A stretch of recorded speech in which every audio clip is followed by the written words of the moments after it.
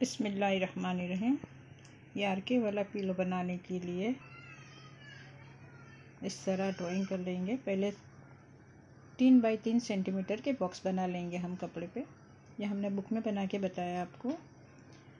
इस तरह एक छोड़ के एक लाइन करके हमने जो डार्क लाइन की है उस पर टाँका लेना है और लाइट लाइन है उसे छोड़ देना है। तो इस तरह पहले खाका कंप्लीट कर लीजिए। और जहाँ पे हमें काम बनाना है, वहाँ पे निशान उठा लीजिए। कपड़े पे भी इसी तरह निशान उठा लीजिए। और ये हमें आड़े कपड़े पे लाइन करनी है, सीधे कपड़े पे लाइन नहीं करनी है। तो इस तरह आड़े कपड़े पे पूरी लाइन बना लीजिए।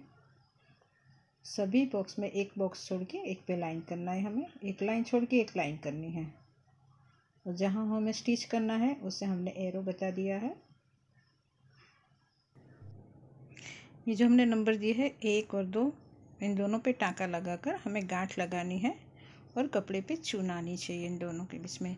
फिर लाइट लाइन को छोड़ देना है और डार्क लाइन पे हमें काम करना है। एक एरो से दूसरे एरो तक हमें टाँका लेकर, गांठ लेकर कंप्लीट करना है।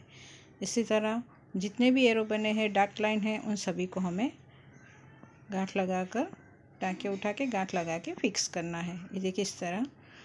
हमने कपड़े पे बना के बता रहे आपको। यहाँ से इन दोनों को डबल नोट बनाइए ताकि खुल ना जाए। धागा काटना नहीं है। ये सामने की तरफ़। ये सीधी लाइन पे ही काम करिए। यहाँ पे धागा लूज छोड़ते हुए जितना स्पेस है उतना धागा छोड़ दीजिए। और वापस ये जो डार्क लाइन ख़त्म होती है, वहाँ से हम टाँका लेकर इन दोनों को चुन लेकर नज़दीक कपड़ा करके गांठ लगा लेंगे। तो एक लाइन से इसे काम बनाते जाइए। ये बहुत खूबसूरत लगता है। कपड़े को पहले छाप लीजिए।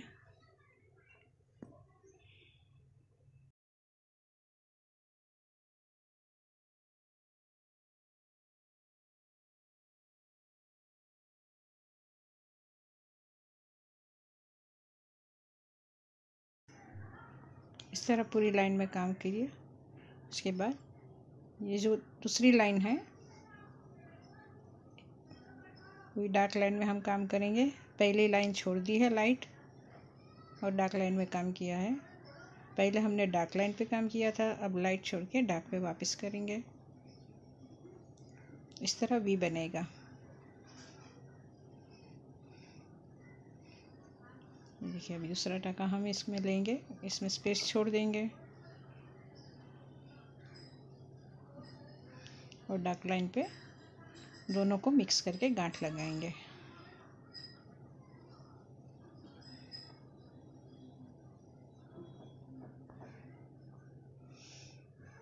इस तरह एक के ऊपर एक लाइन ऐसे लाइन से काम बनाइए।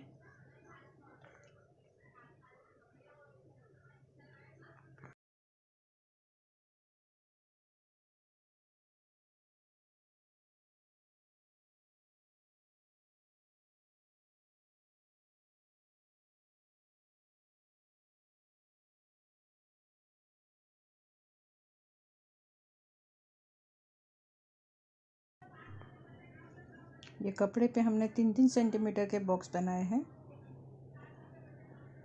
और एक को छोड़ के सीधी लाइन पे हमने लाइन की है। ये राइट साइड है।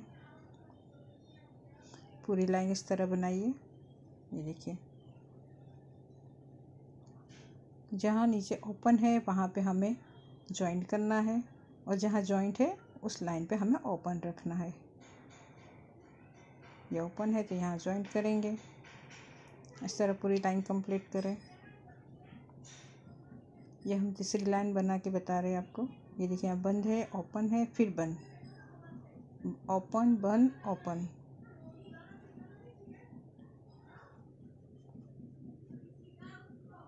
यहाँ पे ओपन रखेंगे हम। तो धागे को लूज छोड़ते हुए गांठ लगा लीजिए। और इसके ऊपर जो लाइन आती है, इसको लेकर दोनों को मिक्स करके गांठ लगाइए।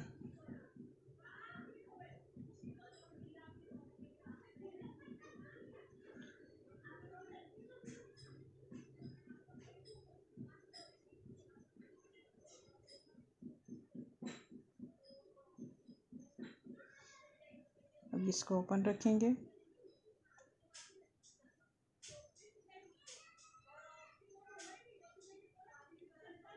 और ये ओपन है तो उसके ऊपर का जो हिस्सा है, उसको लेकर हम बंद करेंगे। तो छोटे छोटे वी तैयार होते हैं ऐसे बनाने में।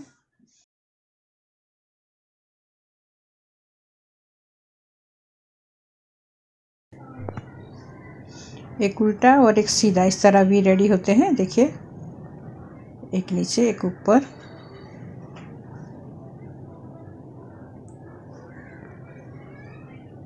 तरह पूरी लाइन कंप्लीट कर लीजिए।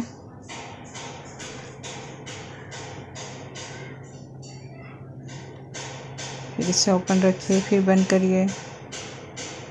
इस तरह सारा कंप्लीट किया, देखिए हमने, कितना खूबसूरत लगता है। पहले आप लाइन करके डिज़ाइन का निशान उठा लेंगे, फिर काम करेंगे तो बहुत अच्छे फिनिशिंग से काम होगा। तो डिज़ाइन कंप्लीट करके उसके बाद ही बनाना स्टार्ट करें। पहले बॉक्स बनाइए, फिर जहाँ पे हमें काम करना है, वहाँ पे निशान उठा लीजिए, उसके बाद काम स्टार्ट करिए। और पूरे कपड़े में ये काम कंप्लीट करके बाद में हमें बनाना चालू करना है।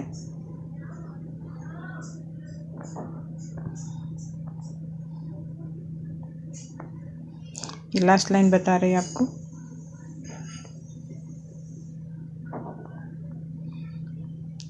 ओपन है तो बंद करेंगे यहाँ।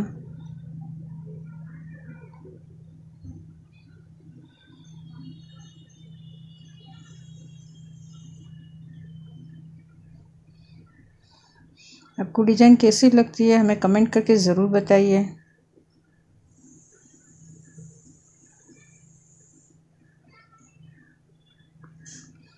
और कोई भी डिज़ाइन सीखना है आपको तो अभी बताइए। इसमें चद्दर राउंड कवर या स्क्वायर कवर किसी का भी मेज़रमेंट चाहिए कि कितना कपड़ा लगेगा तो हमें ज़रूर कमेंट करें। ये देखिए पैटर्न के हिसाब से आपको बता रहे डार्क लाइन को हमने गांठ लगाई है लाइट लाइन को छोड़ दिया है। कितना अच्छा लग रहा है।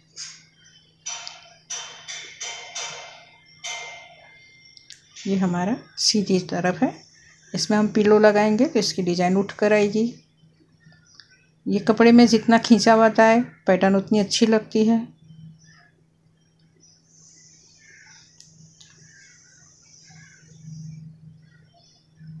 ये पूरी रेडी हो गई है। अब ये जो साइड का कपड़ा है, उसको किस तरह बनाना है, ये हम आपको बताएँगे।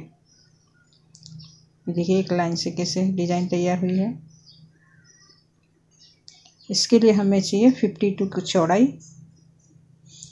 एक सौ बत्तीस सेंटीमीटर और इसकी लंबाई हमें चाहिए यहाँ से यहाँ तक, ये यह लंबाई है। इसके लिए हमें चाहिए उन्नीस इंच फोर्टी एट सेंटीमीटर और चारों ओर हमने दो दो इंच ऐसे छोड़ देना है, पाँच सेंटीमीटर पाँच सेंटीमीटर ऊपर, पाँच सेंटीमीटर साइड में, इसी तरह ऊपर की साइड में भी, पाँच सेंटीमीटर साइड में, पाँच सेंटीमीटर ऊपर, इस साइड में भी, लेफ़्ट साइड में पाँच सेंटीमीटर, ऊपर की साइड में पाँच सेंटीमीटर। ये जो टाका बनता है, वहाँ से हमें शुरू करना है।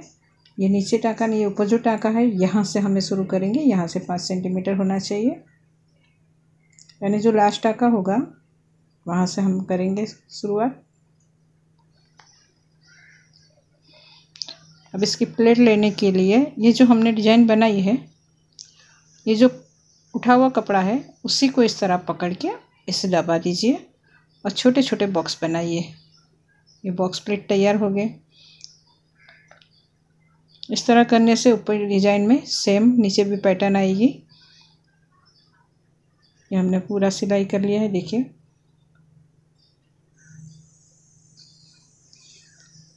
अब ठीक इसके मेज़रमेंट से एक कपड़ा लेंगे हम और ये डिज़ाइन को बैक साइड से कवर करेंगे।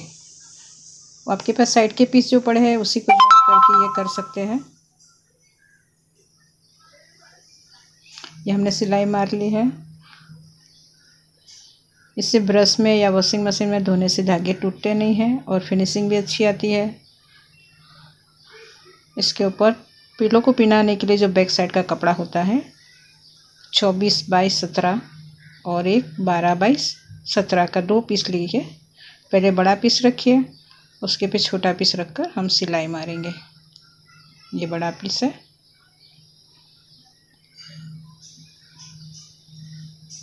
यहाँ पे एक छोटा पीस रख दीजिए। जो ओपन साइड है, वहाँ पे हम ये फोल्ड करके सिलाई मार लेते हैं पहले। ये हमने सिलाई कंप्लीट कर ली। चारों से इस तरह सिलाई मार दीजिए।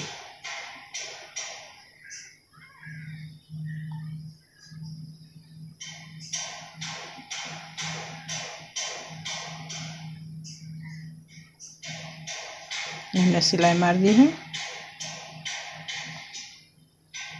रॉन्ग साइड जहाँ से पिलो पिनाएँगे हम।